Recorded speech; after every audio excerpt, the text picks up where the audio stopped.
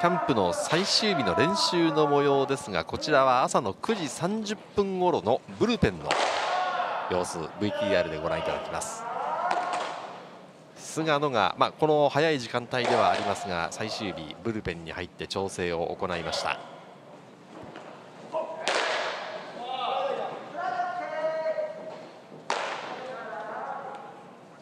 菅野は先週の土曜日の広島とのオープン戦で先発マウンドに上がりました。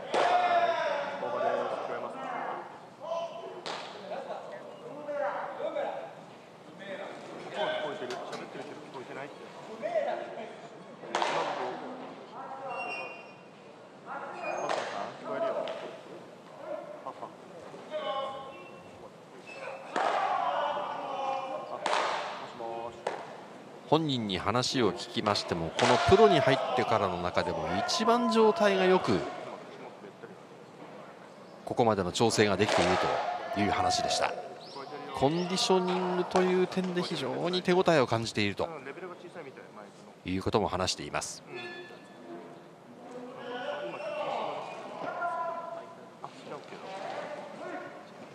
あとは非常に本人も体が絞れてきていると。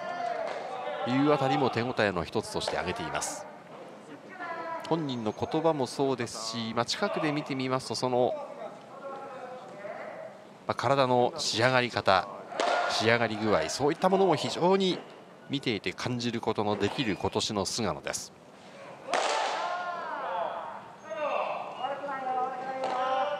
内海コーチが後ろで見つめる中での菅野のピッチングです。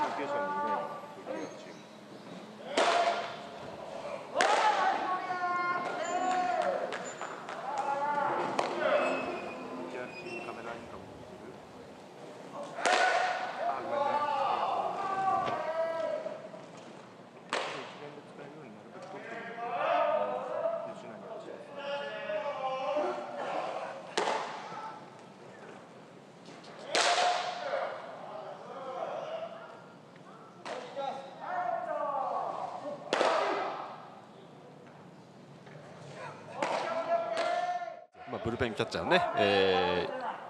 ー、受けて、そして打席に内海コーチが立ってと、はい、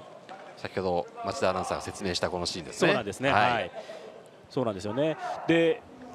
ボール自体はもちろんもう何年ももちろんいいものを持っていて投げるんだけれどもこの体との相談でえー、若い時のようにあるいは年を重ねるごとにじゃあどうやれば一番いいボールが投げられるかということを本人なりに毎年研究してやってきて今シーズンはそれが本当に自分が思い描いているイメージにかなり近い形でできているんじゃないかなということは、うん、あのリュウキャッチャーも言っていましたよね。そうですかで内海投手コーチがこれ最初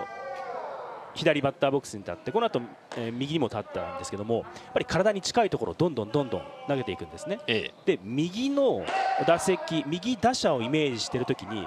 もうインコースのスライダーとも予言して投げるんですけどももう内海さんがですねもう避けぞるもう状態をもう思い切りそらして逃げなければ当たってしまうんじゃないかと錯覚するようなボールが最後はストライクゾーンに入っていくという。そうですか。これはいいねと。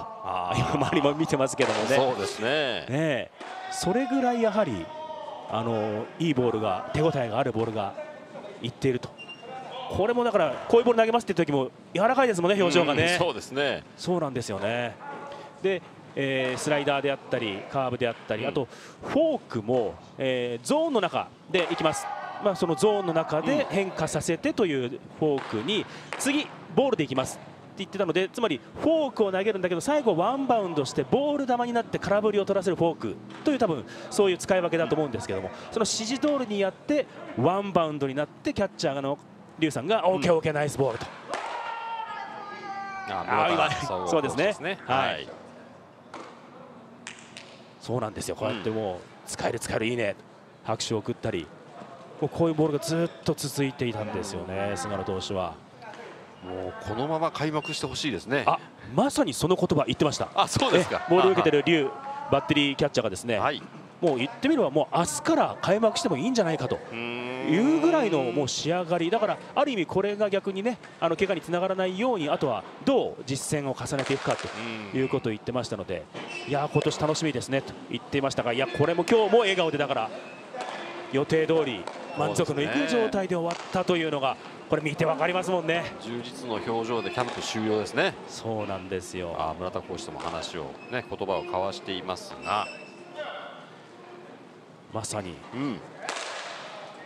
このボールのイメージ通り。であれはバッターにとってはこうだよとか、うん、龍さんも含めて振り返ってというねそんな状態ですから。阿部監督がね開幕投手は戸郷と、まあ、ある面明言して、はい、えー、戸郷自身もそこに向けての準備をしていますし、あのー、先週のオープン戦も金曜日の阪神戦は1イニングでしたけれどもやはり戸郷が先発と。そうでしたね、まあ、開幕を睨んでのその順番でいくとやはり戸郷なんだろうというところではありますが菅野もこれ黙っていないというような感じの状況コンディションの仕上がり具合のようですね。そうですね